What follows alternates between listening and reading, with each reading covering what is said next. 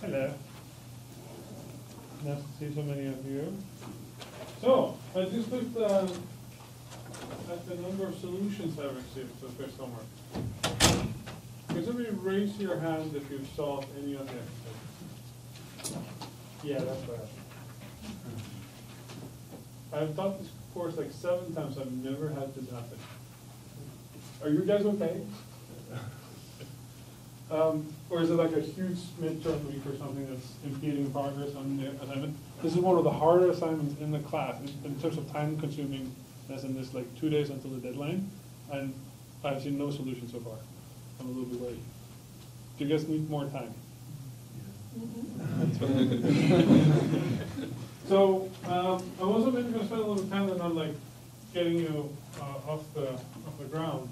Um, do you have any specific questions about the homework that I can help address just from the get-go? Other than more time, because I'm just. Oh, you're like, oh, okay. Well, uh, I saw someone else posted on Piazza that this was happening to them, and it was happening to me too. I was, when I GDB'd attack me, Yeah, I did the, the code and launched the shell. Yeah. When I read it normally, it said a illegal instruction, and, uh, didn't launch the shell. So. yeah. So, two things about that. So one of them is that when you GDP at One, it shuts off its privileges.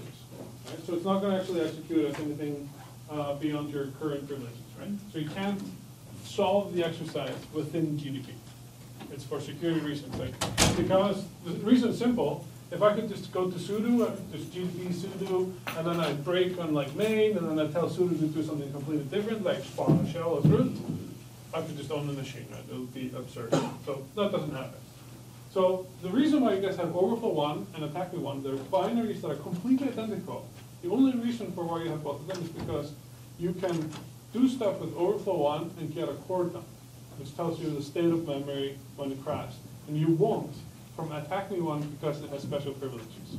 So it's the only difference. So you work with overflow one, get it to work, get it to work with outside of GDB and everything, and then you just change the string overflow one to attack me one. There's in fact a reason for why there's exactly the same number of characters in overflow one and attack me one, because I don't want to shift your stack at all, right? Second thing is that GDB by itself inserts a few things into the environment table, so it shifts your stack around a few bytes. You have to be able to account for that, so when you're running your exploit code outside of GDB, and just like in, in the shell, you may have to adjust the offsets back. So this is why it's so handy to work with core dumps. Now, I'll tell you a trick that I think we, um, I think came up, but may have gotten forgotten, which was that if you've seen a crash and you're just wondering what's happening, let me just start a, uh, session here. Let's go to Triton. Uh, DMask. Do you guys remember this? Suppose it just got a site fault. Now I'll get a core file and I can fire up GDB, binary, and then core, and like the red core. Um, and I can see where it crashed and what it was doing. And that's very handy. But sometimes you just want to know, like, did that hit the instruction pointer, or was it executing, uh, what was it doing? And it's so handy that the kernel has its own log, called the kernel log, or clog, um, which you can read using this command, emask. So what's happening here is that I'm taking the entire log, and I'm just taking the last line, tail of the log, one line. That's ten lines in one. So if it just crashed, this will tell me that the last person was executing stuff. Uh, in this case, it could be some other student with this uh, process ID. this is the instruction pointer when it crashed. And what memory was trying to access was this thing over here, which looks to me as if it's 08, 04, and then some two other instructions just misaligned by two bytes. Right? Very handy for debugging. So this will tell me how to fix that student's problem, like you can shift it by two bytes. Okay? So extremely handy command that you can just put right after you crash. Do this one. Um, when you open up GDP and you open up the binary and the core file, you're in a position where you can actually not just see where it crashed, but exactly what is on the stack, what is in the heap, what all these all the uh, registers doing, and so forth. So you can in fact see, okay, I'm here and I don't even know where my buffer is. I don't know where my shell code is located. Well, go check out something thousand bytes before ESP, for instance, and you'll probably find your code. It's actually very handy to work with the Chrome. Other questions? You have a question? Yes, if you're writing a C program, you're gonna do operating from. You Yeah. know, you have to use copy of shell code. So it, it's a little bit more complicated. The, so I'll start with the intent of what you guys are gonna be doing, um, in terms of shellcodes. Is just use any shellcode you find. We made one in class, you're free to use that one. I put one on Piazza, there's troves of them on the internet. You're actually free to use whatever resources you want to solve the remaining exercises in this class, because there are no solutions posted for these exercises I've created. And uh, for, for instance, Overflow two, I think it was, that has alphanumeric shellcode, you won't solve it without using the internet to find how you generate alphanumeric shellcodes. Um, so in order to create shellcodes, um, what we were doing was that we really, we realized that if you just write a C program and try to do certain things, that the binary itself relies on so much of its environment. It relies on having libraries that do system and do whatnot and so forth. And that means that it's an extremely unportable piece of code. Importable? Unportable? Not portable. Um, and so we decided to kind of just like jettison that idea and start from the very scratch of talking directly to the kernel, which is why we started writing an assembly at one time, right? And we created a shellcode together that I can share with you, and I've posted a similar one on Piazza, where we just talk directly to the kernel saying, hey, I have a request, my request is that I want to start to run execve, or execute, and here's what I want to execute, here's the argument string, here's my table, and this is by setting the registers EIX, EPX, ECX, ETX. And uh, then I executed interrupt OX8, which is interrupt 128. All it means is that you're, you're running your program and you're like executing these instructions and then interdata happens, and it's like doing a call. You don't notice that something happened, but all of a sudden your, your, your program is taken and it's like, it's completely like changed, it's, everything is thrown out, it's replaced with an entirely new body, which is business age. And now you're running a shell. You've been transformed. Normally what happens when you execute something in Unix is that you first call fork, so you have two identical copies of your shell, like, hey, that's cool, and then you kill one of them, like take its body, change it to whatever it is that you want to execute, and now that is uh, another process running whatever it is that you want to execute. Make sense? Um, so if you guys are stuck on your shellcode not working, find the shellcode and just pop it in and don't worry about it. Um, if you are going the shellcode route, then you will have to overcome the obstacle of setting your UID before you run business X. Right? And I posted on Piazza also some hints about that. There's several approaches here. One of the approaches is don't run binsh, run binzsh. That's the simplest thing to do because it doesn't set privileges. Second thing you do is write little code at the beginning of your shellcode that changes your UID to the UID that you want to be, which is your username underscore 01 or 2 or whatever you're changing to. So it's set UID or set res UID. So it's a, it's a kernel call, and then that's followed by uh, an execve kernel call. Third thing you can do is to write your own C program that does your gets, get to ID, or sorry, set UID and set res UID, and um, then spawns a shell, and then have your shellcode spawn your program. So let's say your program is called blah, then you just have execve blah, blah is a binary that comes out of your C file, and blah calls set UID, and then calls execve finish, and you're done, right? So we try to take these kind of simpler approaches to, to problems, right?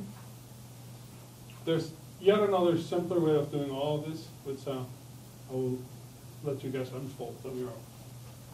Um, but that's, that's kind of, that's the exercise. This is overflow one that I'm describing here in detail.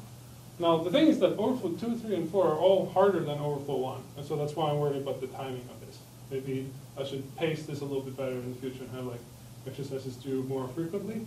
But uh, it's good to know that uh, this is uh, this is kind of like a deadline, and then like, oh my god, oh my god, type of uh, uh, crowd.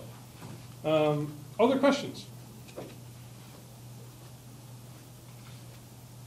By the way, and, and I've had some questions about this.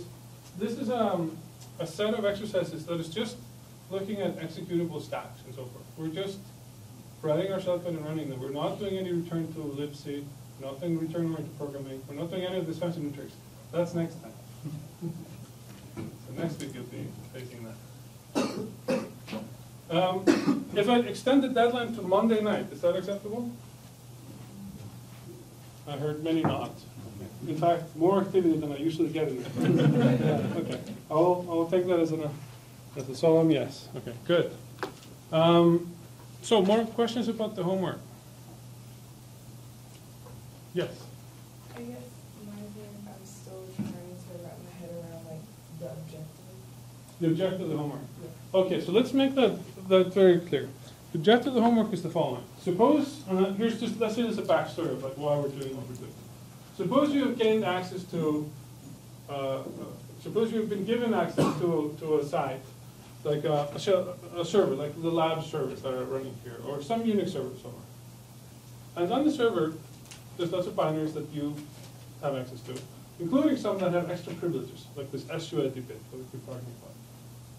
And if you were able to exploit these binaries, you would actually gain additional privileges on the machine. You could start to snoop around files. You could get people's SSH keys, and then you can really start hacking the world, right? Um, so this is something that was very common back in the day, maybe less common now. But this is a very kind of simple way of thinking about um, how you escalate your privileges in a controlled setting. So the binaries that we've created, this overflow one and protect me one and so forth, they are just examples of that. They are vulnerable binaries that have additional privileges. So the objective is that you are, I'm Emer, and I'm gonna compromise another user whose name is Emer underscore O one. I'm gonna hack that, that guy, like, happens to be a clone of me, but I'm gonna hack that guy. Normally I don't have access to any of his stuff, so the objective is that I actually create a file in his home directory called success that I normally wouldn't have permission to do. And I'm gonna do that by running a program owned by him and uh, exploiting, running up a shell and getting his privileges and then writing the file. That's the objective. And that's the objective for, uh, you're, you're, you're gonna take over four people. It's uh, emer underscore 01, underscore underscore 02, 03, 04, right? Does that make sense in terms of what we're trying to accomplish? Or are you thi- thinking more about the kind of, what's the strategy for getting there?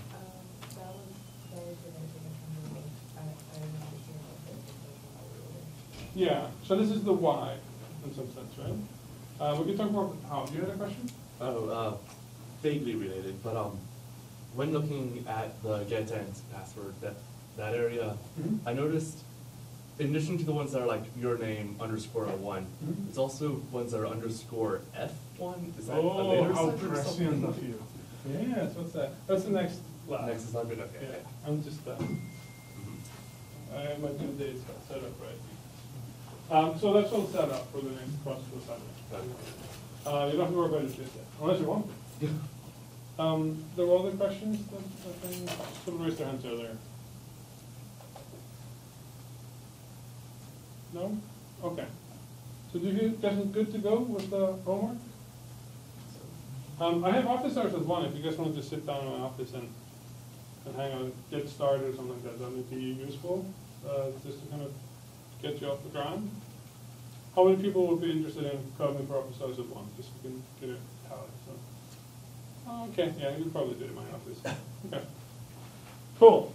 Good, okay, so hopefully that's a little bit clearer. Um, maybe just since I'm on this node, alphanumeric shellcodes. So one of the things that uh, in this assignment here is um, that we are given restrictions on what we can put into the binary. And there's this really fun craft that was created, um, which is to use the very restricted set of x86 instructions that have all alphanumeric values. I mentioned this before for shellcodes, but it's just amazing that this works. So now you have to kind of think about this. Suppose you had only a handful of instructions. So let me just uh, find the list of. Um, oh, here's a wiki page. That sounds very useful. Uh, how to write? Sure. Okay. Let's, let's look at one of these guys. Here's a. This is Frack magazine. This is used to be the under. It actually still is the underground magazine of like where the hackers convene. So, for instance, the one we talked about, uh, this basic buffer overflows. That's something that I think was from issue. Was it 47? Something like that. It was, it was pretty, pretty late. Uh, for fun and profit. Where's fun and profit? Smashing the stack for fun and profit. Forty-six maybe? It's pretty late in the frac thing. No profit here, okay, whatever. Um, frac, smashing the stack for fun and profit. This is what really got people interest, forty-nine, okay. This is what really got people interested in XSplits, is that there was this, um, there's this Aleph One article over here which talked about like, hey, yo, you can you can write buffer overflows and all the stuff that we've been doing is right here. So it's actually useful to to read.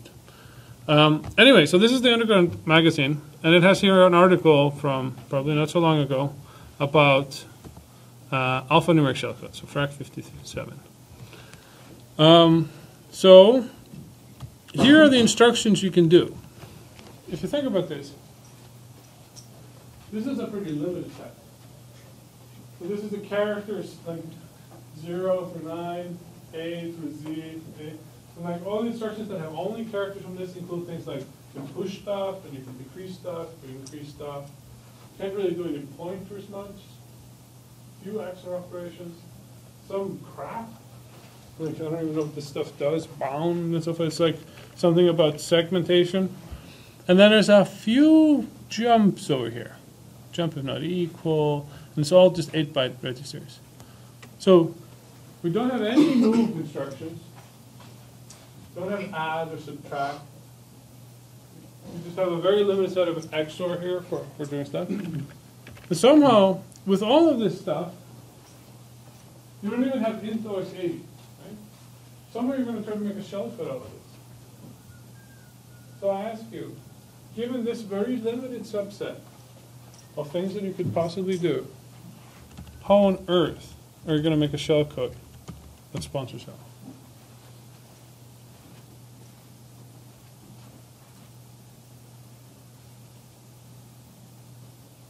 And as a bonus question, how could you automatically solve this challenge? That's actually something that DARPA and others are very interested in. How do you automate hacking? We're working really hard on this problem. They actually made scary progress.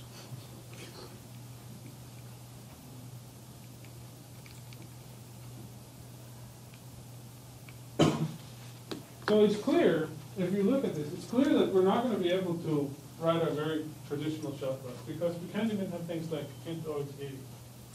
So what would be a possible approach of getting to this?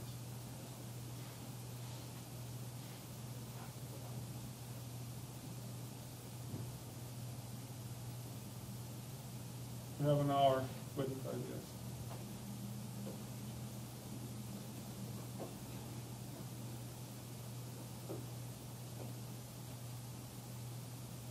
You have been summoned at gunpoint by someone who wants you to write an exploit that's purely alphanumeric. How do you survive? Just the fact of the stakeholder.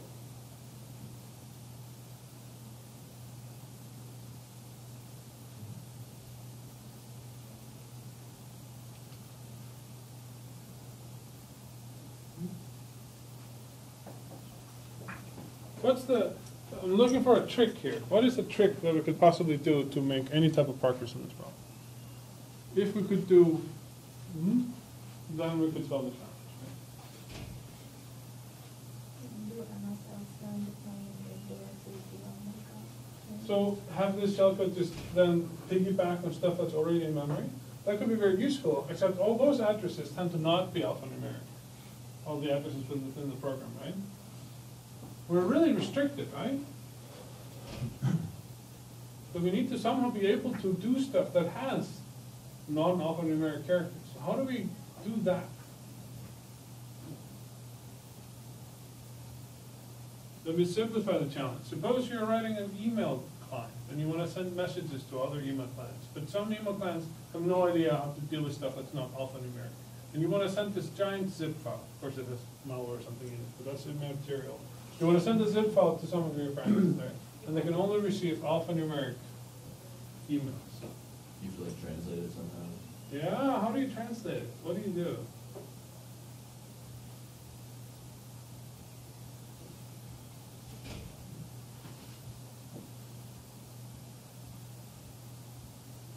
I mean, one idea would just be to say, let's just write the hex code, like four, one, four, one, that's all alphanumeric, right? It's a simple idea. We can do it even better by saying like, let's look at, okay, we have eight bits for a character. We're only gonna take like the six bits or something that we can represent within A through Z upper and lowercase, which is a two bytes thing. And then we're just gonna break up this eight bits into like six bits and six bits and so forth, right? That's called UU encoding. So in other words, we can encode into alphanumeric shellcode, we just effectively compress our code, right? So the whole idea behind alphanumeric shellcodes is that you create a routine that frantically tries to decode the rest of itself. So it is like a, there's like a decoder at the very beginning that works on the rest of the buffer and subtracts all these bits and does all this stuff within the bounds of reasonable, what we can do is alphanumeric, and deciphers the rest of the shellcode and then executes that. Either by jumping to it using this limited jump operations, or just because that's the next instruction, I guess, it's run. That's cool, huh? Right? And in fact, this is what viruses do as well, and this is why virus detection is so hard. Because a virus is not just gonna be like, ooh, I'm this program, gonna destroy your computer, can I come in? Right, the virus is gonna be like, I have this oh, oh, oh, payload over here, and the payload is encrypted, the payload is all sorts of reduced. Sometimes the payload is polymorphic, meaning that every single instance of this virus is different because it has certain intent, but it can do each of the operations in different ways. For instance, suppose it wants to clear a register. Well, it could just move zero into the register. It could move zero into a different register and then that into the register you want. It could XOR the register. It can have different strategies for accomplishing the same goal, and then just randomly picks a bunch of these new virus. So you can have a fingerprint or a signature. Right? It's like, so this is in that same ballpark here. You have a decoding routine. So that's what alphanumeric shellcode creation is all about, is to see how do you write a decoder using only this? Because that's a much simpler problem. All you're doing is you're taking something, you're reading a byte from somewhere, and you're trying to expand it somewhere into two bytes. Right? Makes sense, right? Still very tricky. And it's not something I expect you to do from ground up. But I expect you to be able to understand what you need to do to be able to run alphanumeric shuffle. In particular, something that's going to be an obstacle here is that it necessarily relies on knowing a lot about its environment. It, it relies on, for instance, having an address in ECX or in any register of where it is located, because it's going to be modifying itself. It can't do a call, because a call is known alphanumeric. It can't do like a push on the, like, it, it has to do a call to be able to figure out its relative location anyway. So you need to provide that somehow. Unfortunately, in Overflow two, you have space to do these types of things. You have to be a little bit clever. Does that make sense? Like kind of high level? I don't know if you've looked at this problem in any detail, but hopefully this will make sense. I'm putting away. I was meant to bring my charger.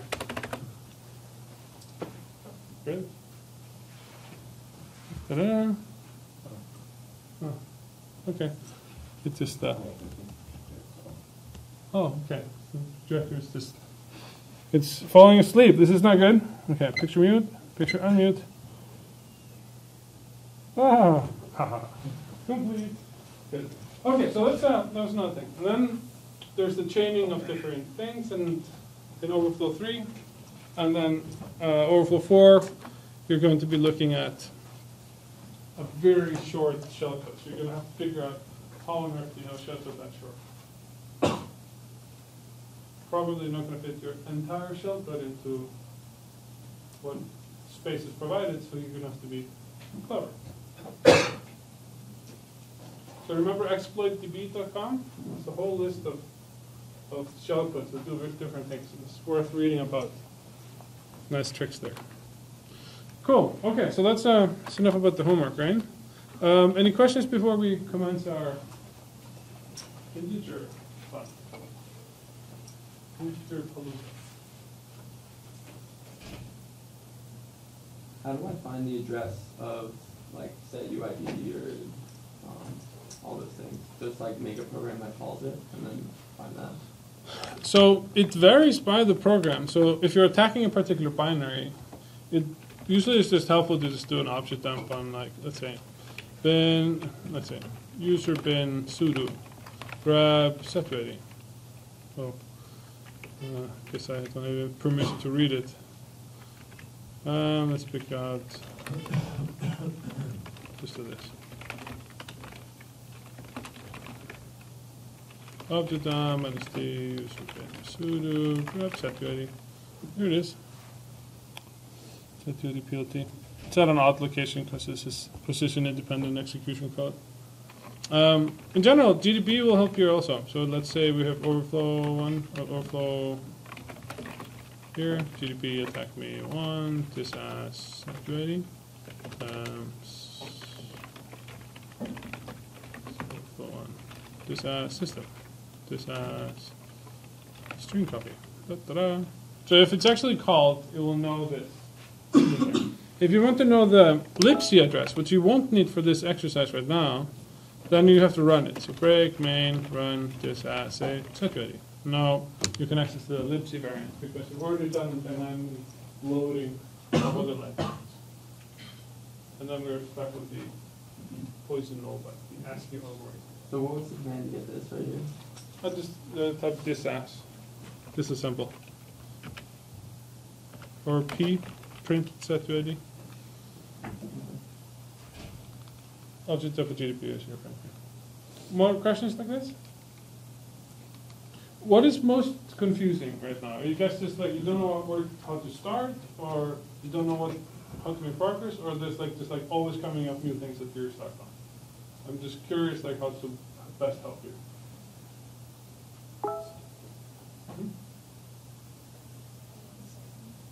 Starting, okay. So, okay, so if you're from starting, just show up for my office after one, at any cost. and, Like, we'll get you started.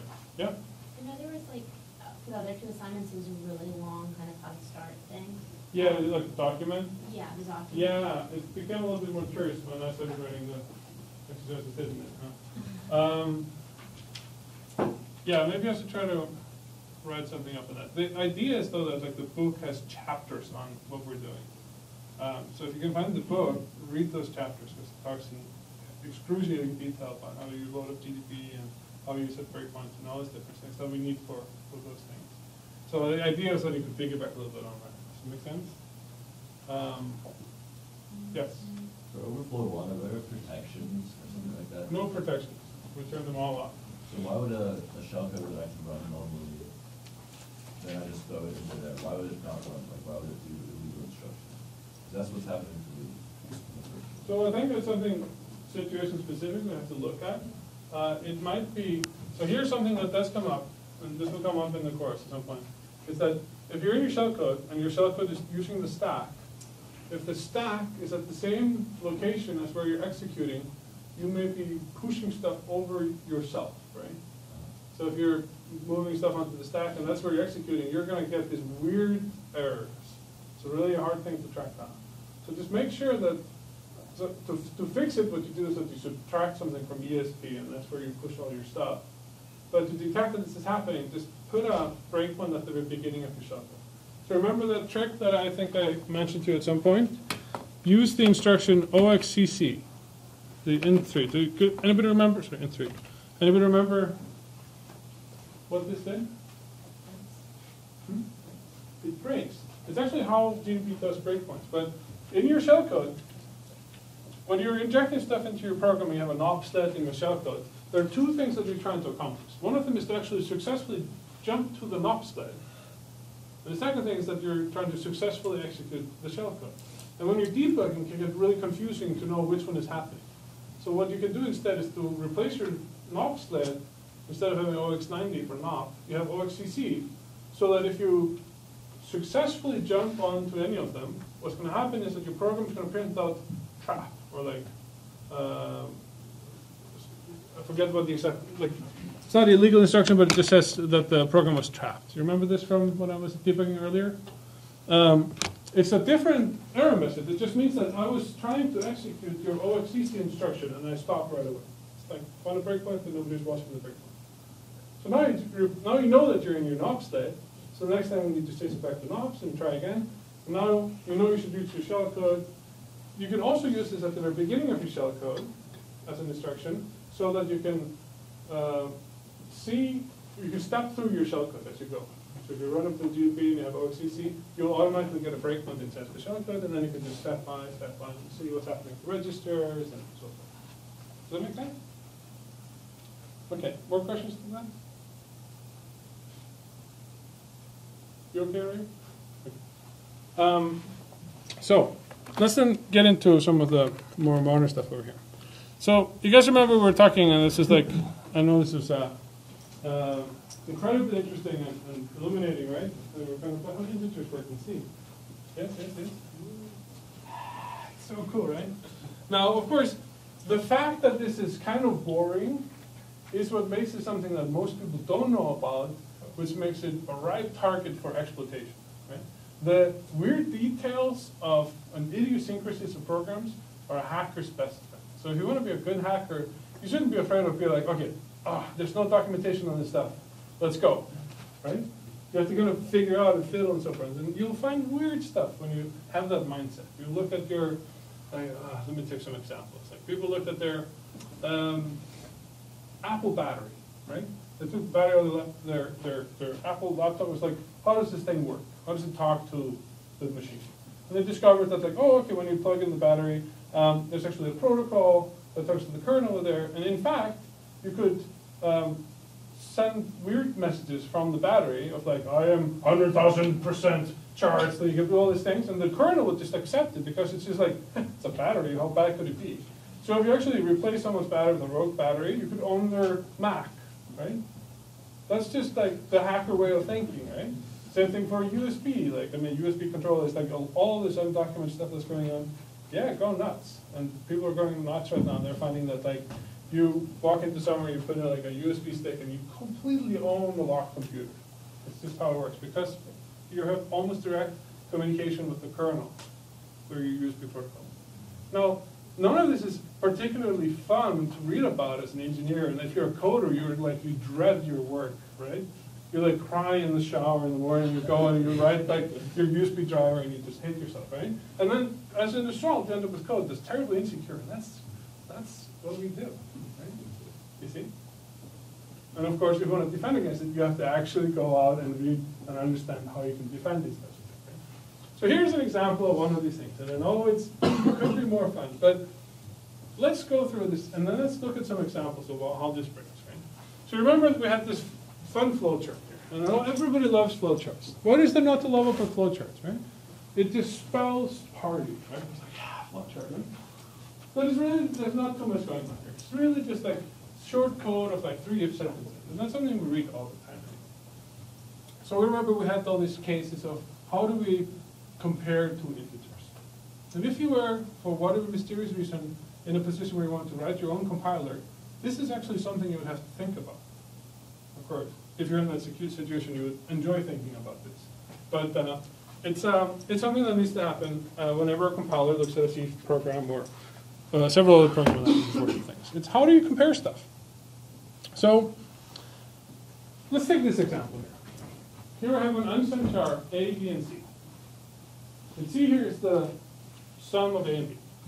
And I do a, an if sentence here, and say like, hey, is C greater than 300? In which case, I'm going to print X. What will happen?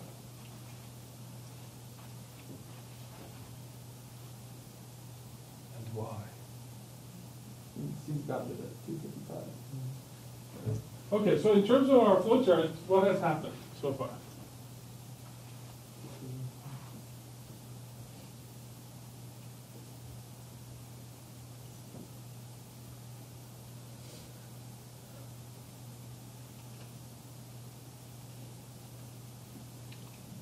Sorry, it's not right.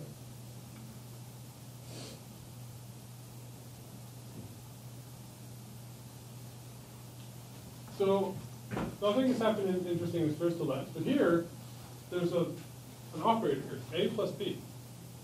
So what happens with that?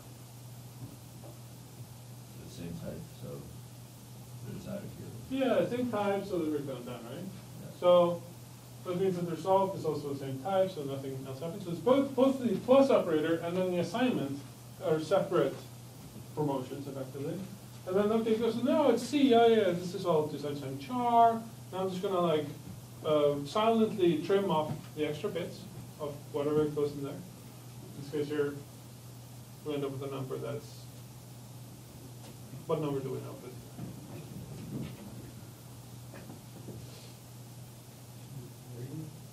Hmm? 240.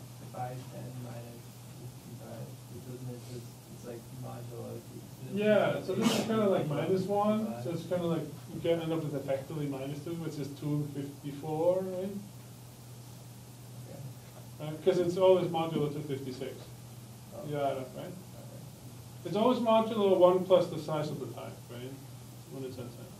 So here, if we do a comparison, now we're looking at our unsigned char, and here we're looking at a number, and we're comparing the two, and we say like, why, okay, I have the number here, two fifty-four, is that greater than three hundred? Of course, that's not the intent of this code. Code was supposed to be able to represent the summation of the two, and it totally failed. So here we would not print x. So A and B are promoted to integers, plus operation is performed, resulting into truncated into the narrow type of an unsigned char, and uh, we don't print it. What about this one?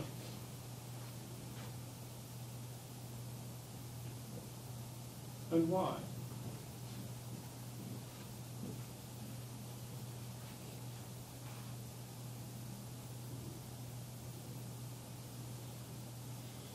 Do we print x?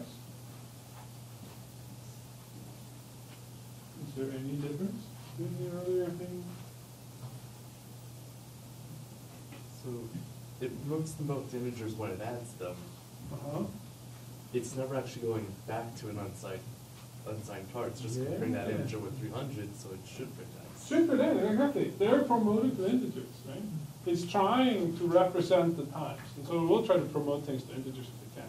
Or if it's something bigger than an integer, tries to promote it to whatever big it is. So if it promotes this to integers, the plus operator is performed, then you end up with the number, what was it? Uh, five hundred and eleven, hundred, hundred ten. Um, and the result is then compared to three hundred, and yeah, it's greater, and so it prints X. So notice how there's no narrowing that happened there. compared to before. Okay, let's take more examples. What about this one over here? Here's an int and a long, and a long one. And you could imagine that this keeps going, but like not, not for, not for a while.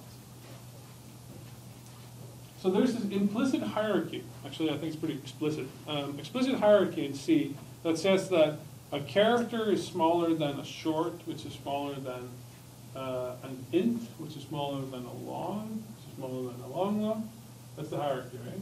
And we always try to say like, okay, when we say narrower type or semi-similar, this is referring to that hierarchy. But here, even though on 32-bit computers, int and long are both 32 bits, long is viewed as being better or one, wider. On 64-bit, it is. So what happens here? What is? What's, what's, what's going on in terms of promotions and so forth?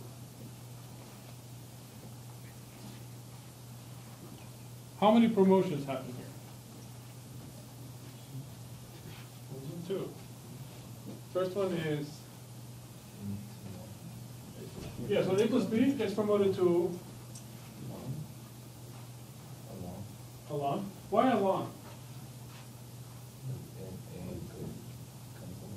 Yeah, so they are not the same type, but they are the same signness, so we convert the narrow type to wider type. In thirty-two bit, it didn't actually matter, but they're both viewed as longs. So in sixty-four bit actually would have mattered. So they're both now long over here. And then the second promotion that happens is, yeah, the whole thing becomes a long long, okay? Because same reason, yeah. So A is converted to the water type of B before plus is performed, which is the type of a long, which is now converted to a long one. By the way, long and long int are identical. Now here's something that's kind of closer to our security mindset. Does this thing here print X?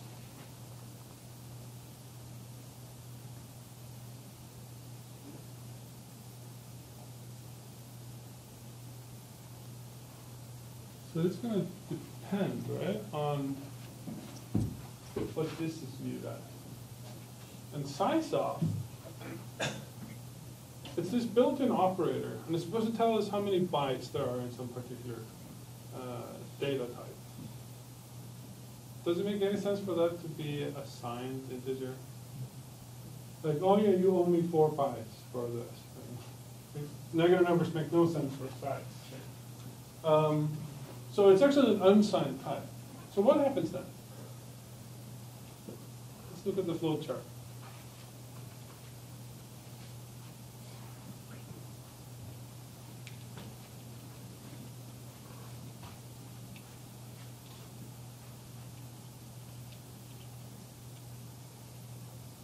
So it was negative five to the unsigned type. Yeah, so now you're comparing these two numbers. There's a, an unsigned uh, int over here and a signed int. So we go through a chart, same time, uh-uh, same sentence, uh-uh. So now we're in the, is the unsigned type wider or same width as the signed type? They're the same width. So how do we arbitrarily break the ties?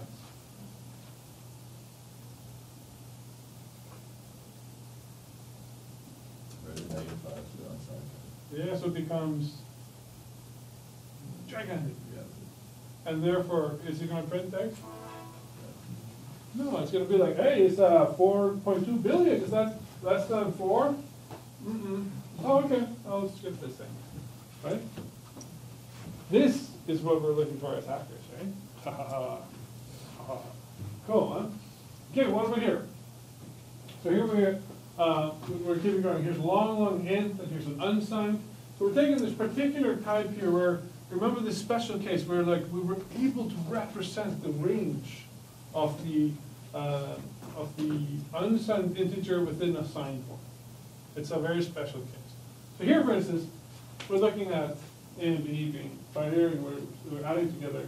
And it so happens that long, long int is big enough that it contains within itself the full range for an unsigned int. Right? So long, long int is sixty-four bits.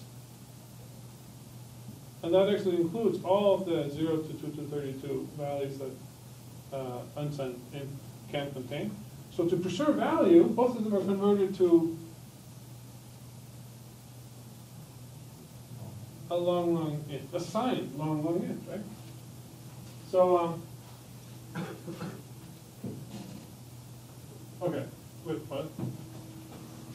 Did I say the wrong? This, I think this is wrong. What's that? Oh, okay, this is, okay, sorry, I'm just, I'm slide ahead, okay. So it's long, int, good, okay. Now I'm hitting this one over here, and the answer comes up right there. Okay.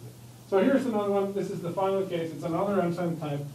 So here we have a unsigned int and a long int, we add them together. And yeah, we can't preserve the value because there's so many numbers in the long int here that could be negative. We can't fit them in, so we arbitrarily choose the unsigned. So there's gonna be an unsigned long int. That's result. Make sense? Cool, let's see some uh, more real examples now. So recall that we have all these libraries, right? And these are libraries that we use daily when we're using, when we're C programmers. I don't know how many people program in C regularly, but maybe we'll get there. Um, so if you remember, here are good friends, string in, copy, string in, tap, and so forth, printing stuff out in the buffer. Uh, malloc, some size, um, copying things between places, certain length, and then reading from a file descriptor, either reading from a socket or reading from an actual file and so forth. All of these functions here assume that their numeric, uh, numeric arguments, size t, is, what do you, you guess? Signed unsigned? Unsigned, right? Because why would it be minus four? Like, like we back data to, to the user. Like, you took too many from it back, right? So they're all unsigned. In fact, there is this thing called S size T, which is a signed size T. Um, I was doing a code review for, um, it was a credit card dispatching software, like that, where there was a bug in exactly this. They were like, they had a, uh, a size T, and they were reading an uh, error value from something in OpenSSL, and it could have been minus one. And then checked if it was minus one. And I was like, uh-uh, no way you can have a minus one in, in size T, right? So it actually never checked the error, so you could write a whatever, and you had this big, oh. So this act- actually crops up in modern software. Um, so, let's have a look at um, what happens now that you call these library functions. You're gonna implicitly convert whatever you have into an unsigned or whatever this is over here. So let's see an example. What do we, what happens here? And do we need music? I'm seeing a few faces that are like, please no music. Okay, let's not have music then, that's fine, that's fine. Stop staring.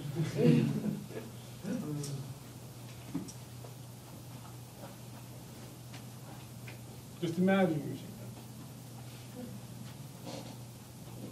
So reading something from the file descriptor, it's the length of how much we're supposed to read, goes into our length variable there, which is an int. If it's more than thousand twenty-four, well, obviously we don't want to overflow buffer, we're gonna just stop. Otherwise, we just read into the, the buffer. It's the most innocent looking code you could find. So as an attacker, what do you do?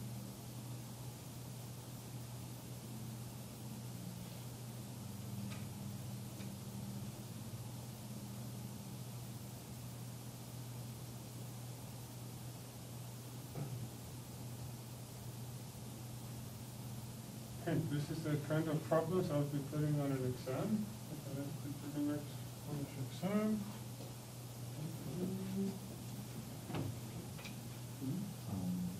You need shout out. If you back in the, because it's an unsigned thing, What is an unsigned int? uh, the, the length, it's supposed to be unsigned. Oh, here, you did ship it unsigned int, is what you're saying?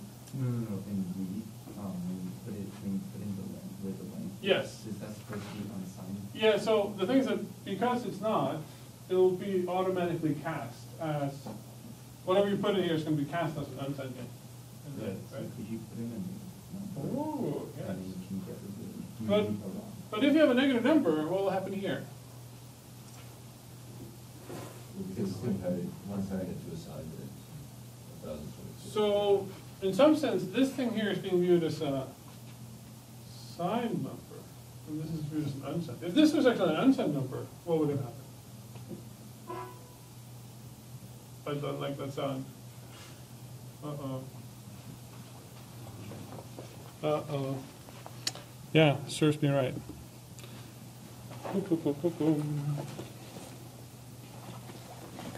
Mhm. Yeah, I should bring a charger next time. Uh, can you run and get it? Okay, I think I have keys also.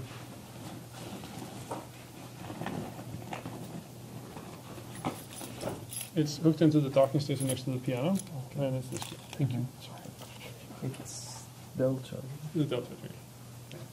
Yeah, so what we're seeing here is, um, like an example where we're comparing two things, they're of similar width, one is signed, the other one's also signed, so this comparison is signed. So it's gonna ask, like, hey, is minus one, is that greater than thousand before? Mm-hmm. And then it will cast that negative number into an unsigned one without giving you any warning that this is happening, unless you really specifically ask for it. And you're gonna read how much? like four billion, like you have four gigabytes of, of exploit code. You're going to have the longest shell code ever. Like, it overflows the entire program. Like, um, and yeah, so that's exactly what happened. So read expects size t and it's an unsigned. Um, things will be viewed as a big positive value uh, as an argument here, and then you have a cycle. So here's a sign extension of vulnerability. So here's uh, snprintf. snprintf is something where you write into a buffer a formatted string. So here it says like, take the string argument that follows, so percent s views as a string, take the output of this conversion and put it into your destination buffer over here, and at most write length bytes. The length here is going to be um, unsigned. So if we get a length field from the user, suppose the length is just a signed character, then uh, what will happen if it's less than zero? What exactly happens if it's less than zero? It'll underflow to a really big value. But it's only a character so far, right? Ultimately, yeah, it's going to end up being an unsigned int, which is actually enormous, but it's because it had a character and then it had to sign extend it, right? Remember, it was like it's minus one, this is FF, FF, sorry, FF. And now it's going to become an integer, and this will be FF. And now that integer is gonna be viewed as an unsigned integer, so it's four billion. This innocent little two a one byte thing over here turned into this behemoth. That's that. It's gonna Make this SMPP really, really cheaper. Make sense? So SMPP takes a sixty, make the sign, will be widened by a sign extension. One hundred becomes four billion, everything is terrible. Okay, so let's fix this thing. And this is something that's hopefully gonna become a little theme for us here, is that fixing is not easy. It's so common to see fixes that are completely inadequate, it happens all the time. Like Heartbleed, I think one of the first fixes for Heartbleed was completely invulnerable. Bash, anybody remember Shell Shock? No? There was this thing that swept the internet that you could put in arguments that like, uh, made Bash do whatever you wanted it to. Uh, it was a very bad vulnerability. But there were so many variants of it that they kept trying to patch it, there was a fundamental flaw in how they designed it, that all the patches were ineffective much later in the process. Um, so let's try this. Let's just say, okay, well, I want to make sure that, that length here is an unsigned int. Did I fix the problem? And according to Betteridge's law of headlines, uh-uh, okay, thank you, much appreciated. Okay, let's get some juice here. Um, so, how would I say, well, actually, what happens exactly? Is it, is there any difference between this and the prior code? Same things happen, right? In fact, this is implicitly what happens, we just made it explicit. Still the same broken thing. How would you fix it? What, what? Yeah, do an unsigned int of an unsigned int of length. Yeah, um, that solves it. No, it doesn't do it, right? So, something is wrong with the fact that we're moving from a signed character influence an unsigned int to begin with, right? So it'd be safest if you were to modify anything here to change what? Change, yeah, change the type of length to unsigned character, exactly, right? Because then there's no negative number segregation, but it's just gonna get widened. Yeah. Um, so let's, some of those occurs. And um, let's look at this advanced example over here.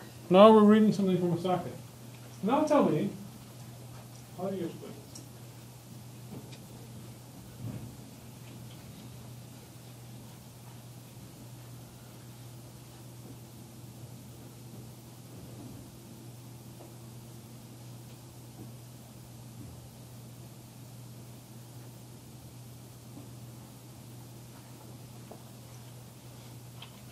There should be a declaration for end summer, but it's immaterial.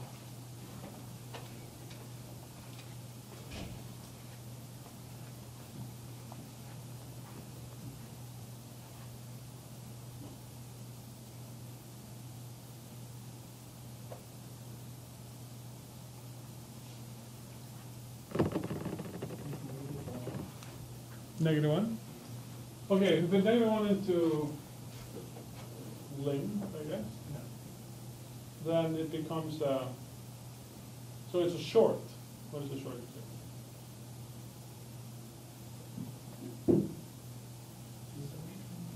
Two bytes, yeah, so it's a sixteen bit type and it's signed. And so minus one is perfectly fine there. Now there's gonna be a comparison here between a signed short and a same int. How does that comparison go?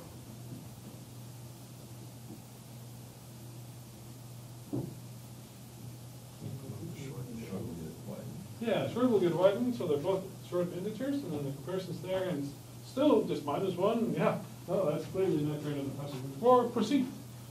And then, what happens here? Uh, This, this thing here, here's a, a short, and here's just a number, it's gonna get become a big signed integer first, right? And this is gonna add up minus one and one, it's gonna become zero, and then it's cast as an unsigned, because that's what malloc wants. And malloc gonna be like, oh yeah, I'll give you this empty chunk over here. happily, we'll happily oblige. And then we're gonna read into this very, very small buffer, how many bytes? Yeah, it's short here, it's not gonna get converted into That's, we're gonna extend it, so it's gonna be like a first assigned in, so it's like a, it's gonna be minus one, that's F, and then that's gonna be viewed as an unsigned, so that's all four billion of them. So we're gonna write four billion, four gigabytes into the zero byte buffer over here. That's a problem, right? Up to four gigs. And then we just write some zero somewhere and we're done. Technical, yes. So, you had a short length and then the read length method was taken in detail, so I'm assuming when you passed it, it expanded. I forgot that And part. Yeah, that's right. So the read length over here actually returns an unsigned short. So it read, read the length just properly as a two byte thing and returned it, but it then gets cast into a short, right? So what happens? So, uh, if I put in something that's, like, uh, if it's sixty-five thousand five hundred thirty-four, that I get, uh, that I read, get out of my read length, that's gonna overflow, and become minus one in the, uh, in the length. That's an important step. Okay? We're juggling back and forth. We're always kind of, what, happens really is that we're moving the perspective from being kind of, this is a signed number or an unsigned number. That's where we're moving. The bits really don't change a lot because they can get an narrowed and changed and so forth. But really it's just like, is this number here signed at the moment or is it unsigned? And if we're juggling back and forth, you'll see some really unexpected results. Right now. This is not, this, this goes with it, Well- and you have, If this were, so what, what was your fix? no, no, just because it is doing an unsigned short and then it kind of gets passed into that, um, when the extension happens, doesn't it extend to what it originally was, and then it's fine? You're saying this is fine because we had an unsigned short to begin with? I mean, it would overflow and like it's a very bad thing, but wouldn't it just read the previous bits that were there unsigned short, like it's, uh, and where it was like extending it? So what will happen is that your read length here is gonna read the two bytes, it's just gonna return these two bytes, it's gonna be in the range between zero and sixty-five thousand. And then you're gonna take that number, you're gonna look at that as being a short, so you're gonna interpret half of that range, the one from like thirty-two thousand to sixty-five thousand, as being from minus thirty-two thousand to zero, right? So a big number beyond thirty-two thousand is going to become negative as a result of this assignment over here. Yeah, and then all the other stuff happens, right? So what would fix it? How would you fix this code?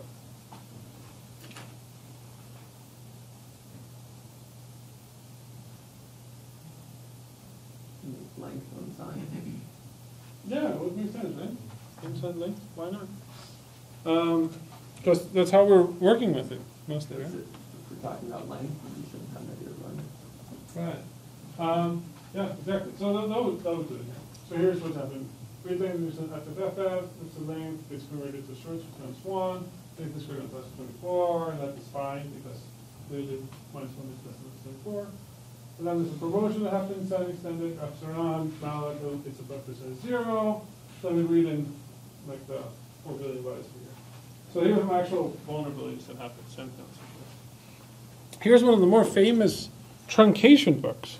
So this is from when we move from a wide type to an arrow type. I remember this being one of the most exciting things, uh, one of the most exciting things that happened during my teenage years. Um, so this was an attack where that effectively made you walk into any computer on the planet, right? Everybody ran SSH, nobody firewalled it. This was a remote exploit against it. You could do whatever you wanted. Um, and the bug works that follows. There was, um, people realized that there was this attack against SSH. So SSH is an encrypted version of Telnet, so like when a connection with a remote server. Um, so what would happen is that even though every packet was encrypted, you could take a packet and can replay it. So somebody who was like monitoring the traffic going back and forth between, say, you and the lab server like that, could take one of your packets and then inject it several times. So if you type the letter like L, they could type L, L, L, L, ha, ha, ha, right? Or they could like select things out, like for instance, they could be like, I know that person is entering their password, I'm gonna save those things, and then when they're like chatting on IRC, I'm gonna inject the packets and it'll write their password, ha, ha, ha, ha. You can think about like some like evil stuff like that, right?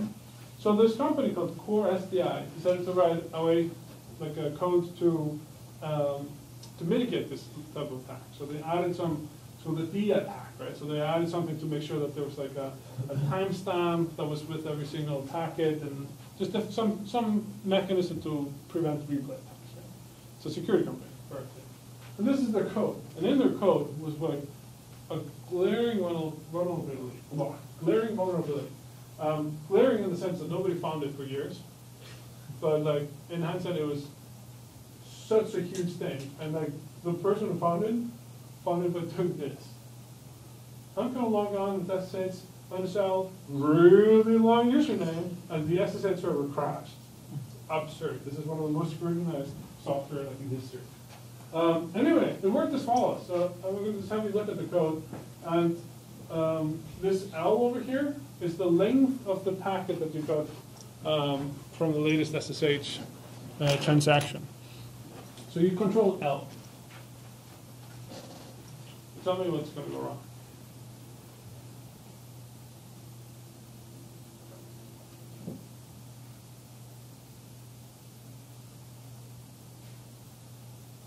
The one is greater than n point. So this is L, L, where's one greater than L? Yeah, it's up. It's just the font, it's terrible, sorry.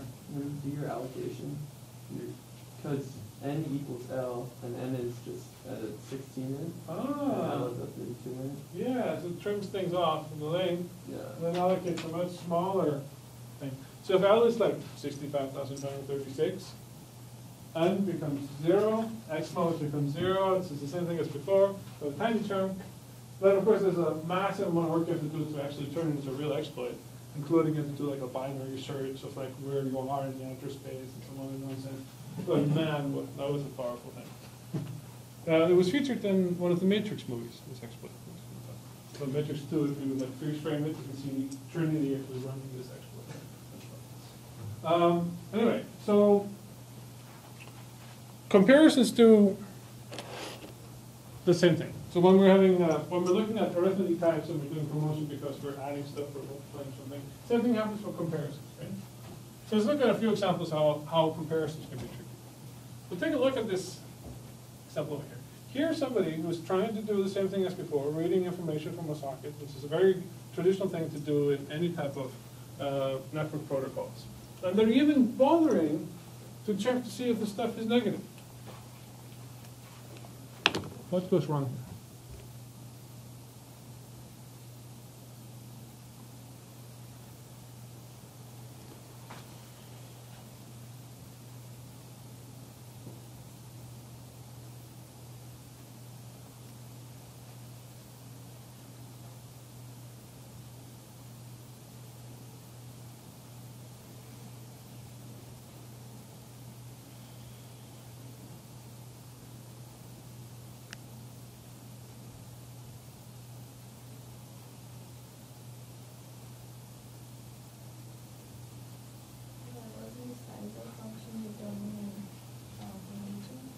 was an unsigned, yeah.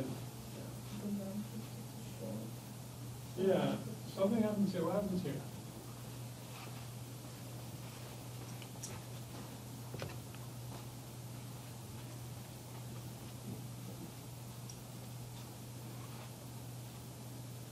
Length would be converted to non-signed in. But if you had a negative length to begin with, doesn't that just make it really or something? So we want to get both into the same type, remember? So if we look at our flow chart, so we have a signed short, we have an unsigned int. We're comparing them, and then we're gonna compare that against like what's effectively assigned in here. Let's see what happens, let's just look at our flow chart here, which is so useful.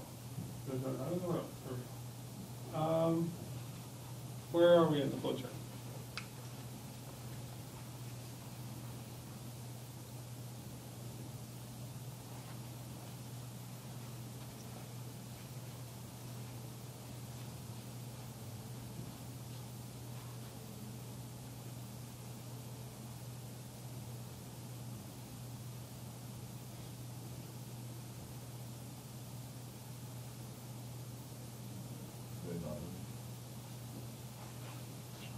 We pass this one here? Unsigned times wide or same width, right? So it's an unsigned int versus a signed short.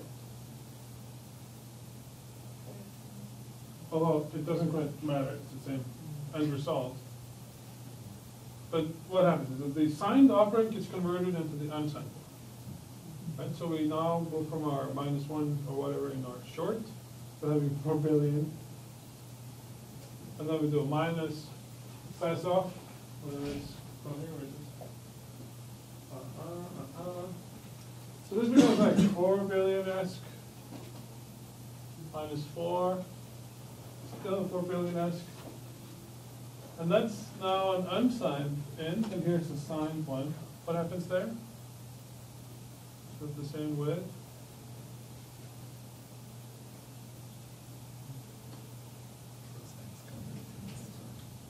Still unsigned, so it's asking, is this gigantic number here less than equal to zero? Oh, no, really? Okay.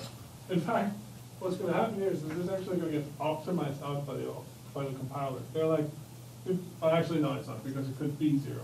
But, uh, if it was asking this less than zero, it's gonna be like, it's an unsigned thing, like, it's never gonna be less than zero. Dumbass, you can just remove it, right? And then, there's another check here, there's length greater than max size. What's max, max size?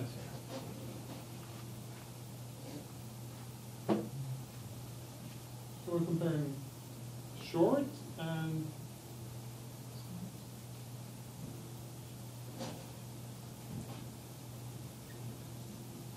the default is a signed integer, so they both become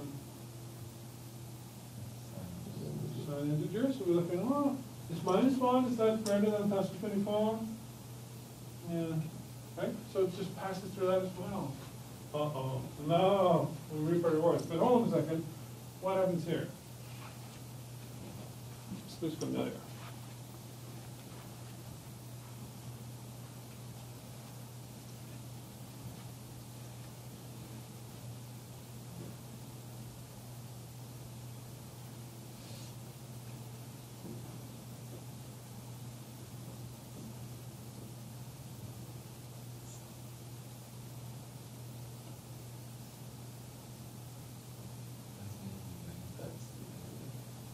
It's what, sir? Yeah, so this thing here, just like over here, becomes, it's a, this is a short, and this is an unsigned int, so we promoted both of them to be unsigned ints.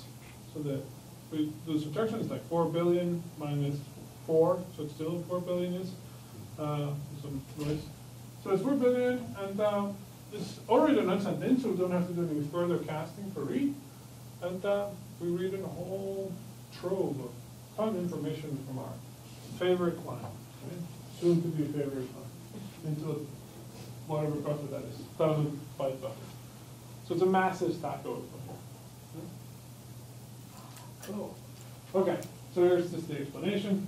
Expression, is promoted to signed int, then promoted to unsigned, and then subtraction can never be less than zero, so the check is ineffective, so that's what happens here. And then length of one, pass test, and minus one also Then you have these things, so I already went through this. So we end in this situation over here, which an unfortunate situation security standpoint. What about this one here?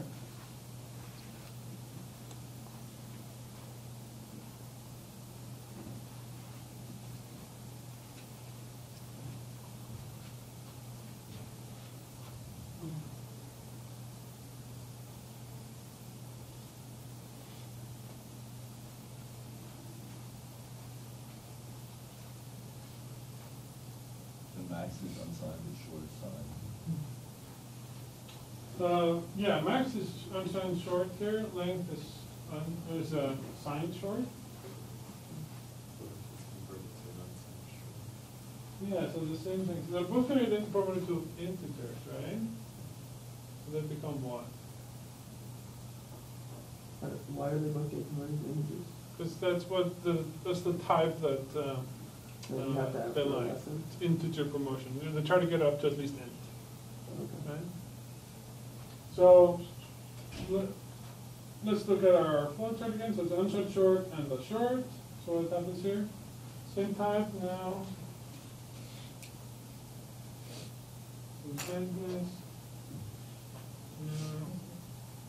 unsigned tab wider same with the assigned tab?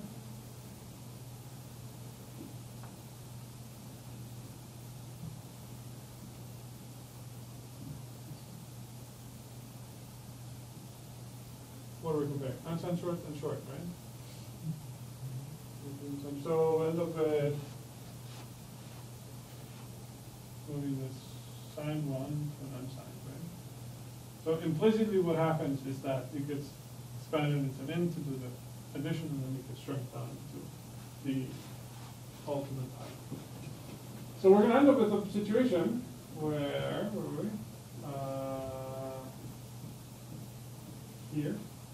Situation where the comparison here is gonna be, oh, okay, everything is unsigned, therefore this is gonna be a big number, and this is gonna be a smaller number, pass the test. So this thing here is cast into unsigned, you get the second number. So it's always kind of the same thing happening again and again, right? We're slipping through some number, usually a negative number or a number that's too big, and then it gets cast and looked at as something completely different. The point that we're trying to make here is that making the tests work out for you is actually a little bit tricky. Because of all these things that are happening. And it gets even more confusing when we start to deal with compiler optimizations, like we talked about the very first class, and then set and so forth. And uh, hopefully, I've posted slides for a full lecture on that, hopefully we'll have time to go through that, of things that the compiler does that is just absolutely frustrating. Um, yeah, so length and max short integers, the bucket promotes assigned integers, negative and length it the length check, so you, you move from minus, like FFF to FFF, so now you're comparing minus one to max. So you pass that, you go into read, the length, which is now, is still within short, it's gonna get converted into an unsent int, and so it becomes FFFF, or four billion. And I think this is the last one here. Um, to do it real quick. Anybody find the vulnerability right here?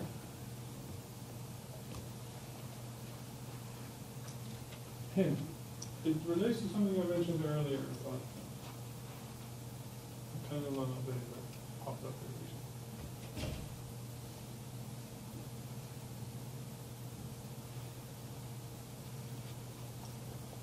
we're not reading anything anymore, we're doing something slightly different.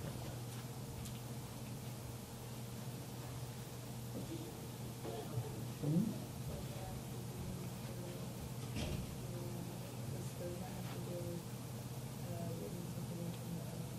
Yeah, so is ASCII to integer, so it looks at the, uh, the data you have in, and it returns, I think a signed integer.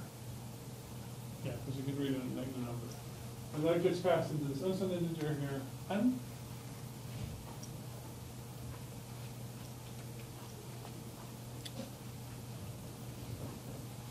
And so what happens?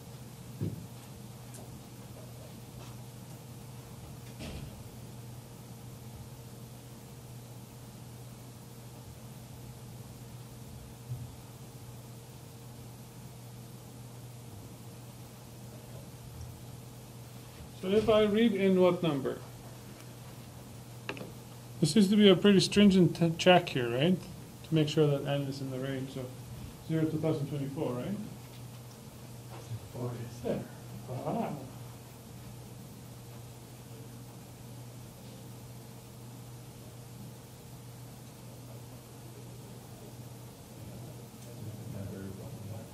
Hmm?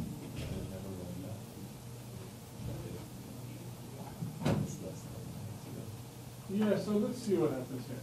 Um, so h y, if we put, hmm. so this thing here should never happen, right? Because it's an unsigned number, equal to zero. Both of them?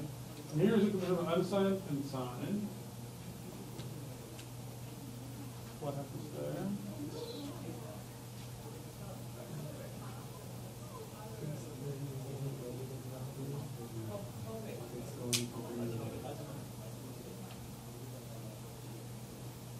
number, there's going to be a ginormous number up here. Now I'm going to look at an unsigned less than zero, and that's obviously going to be fine, because it's 4 billion, it's not less than zero. But then what happens here?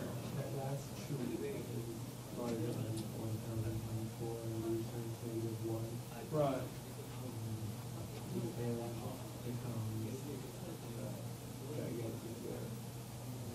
Wait, is it because of, what becomes gigantic? How, sorry? Because an indented over here. But what happens here? And this signed, sorry, unsigned over here, and therefore this check here is completely immaterial. So that's a check that's faulty. So now what's gonna happen is that he went there, it realized something fin- was going on, but it didn't quite catch it, so it's not gonna do a memset, uh, of buffer of the character A, how many times? Four billion times, right? This is gonna be captured in unsigned. Crazy, huh? Okay, thanks so much. Good luck with, uh, homework, so I guess I'll see you before the homework is due on Monday, so. Uh, office hours at one in my office.